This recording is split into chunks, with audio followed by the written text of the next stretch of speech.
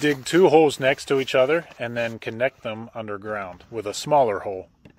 The fire is going to go in this hole, and as the fire burns, it's going to pull in fresh air from the air intake hole, which is best to be placed upwind of the fire hole.